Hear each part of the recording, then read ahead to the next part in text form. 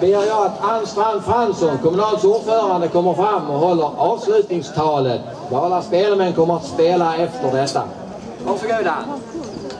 Stort tack till dig Ronny. Hörs jag bra? Ja.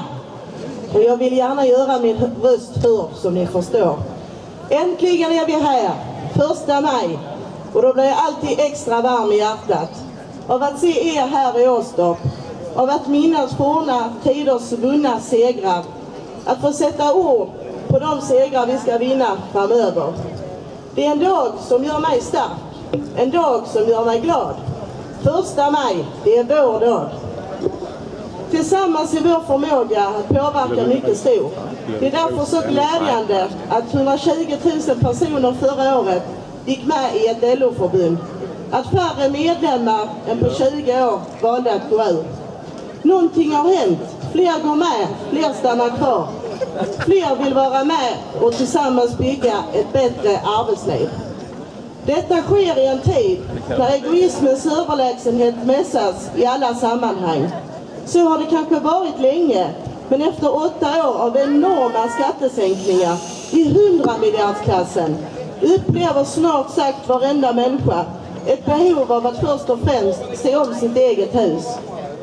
Välfärden är så urholkad och barskrapad att knappt någon vågar förlita sig på den. Knappt ens för grundläggande trygghet och omsorg.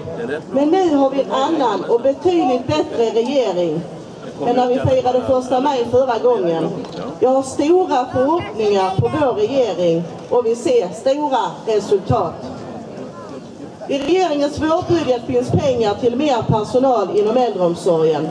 Det skulle kunna innebära 2500 nya undersköterskor 2015 och 5000 nya undersköterskor 2016. Det är bara början på en nödvändig upprustning för välfärden. Undersköterskan behöver fler arbetskamrater. Väldigt många av Kommunals medlemmar är stressade. De hoppar över lunchraster och hinner inte ens gå på toaletten. Bemanningen är ofta så låg att personalen oroar sig för att de äldre ska få den vård de behöver. Man ser vad brukarna vill ha och borde få, men tiden finns inte. Sverige, ett av världens mest jämställda länder. Ändå får många av Kommunals medlemmar en pension de inte kan leva på. Hela 70 procent av Kommunals pensionerade kvinnor är beroende utav garantipension. Det som tidigare kallades fattigpension. Det betyder att ett stort antal kvinnor efter ett helt arbetsliv i viktiga och slitsamma yrken har betydligt mindre att leva på än studenter med studielån från CSN. Det är dags att heltid ska vara en självklarhet och det får vara slut på diskriminering av kvinnor. Vi bygger landet, står det på Kommunals första majknappar. Det är precis vad Kommunals medlemmar gör. Utan våra medlemmar som utför alla viktiga jobb skulle ingenting fungera. Välfärden är lika viktig för tillväxten som tillväxten är för välfärden. Att Sverige har en fungerande skola, vård och omsorg är förutsättningen för att industriarbetare och tjänstemän överhuvudtaget kan gå till sina jobb om dagarna. Arbetsplatsen, arbetsmarknaden, samhället, ja hela världen. Ingenting kan vi förändra på en dag eller genom ett trollslag.